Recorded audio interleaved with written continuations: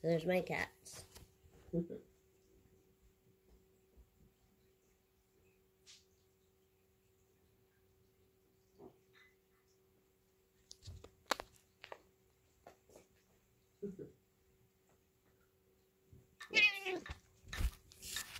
Josephine.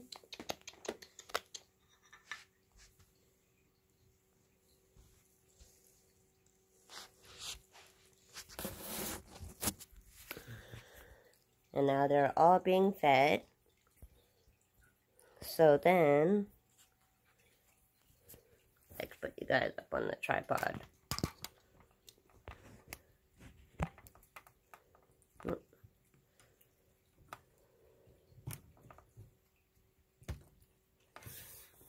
So I know a lot of people only feed their cats wet food.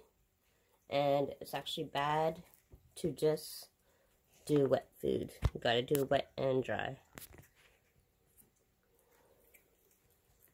So there's oh, Speckles, and Josephine, all three of them. Me my kitties. it's so hard to get them all in one photo and video because they're so big and tall. I mean, and I'm not that tall. Oh,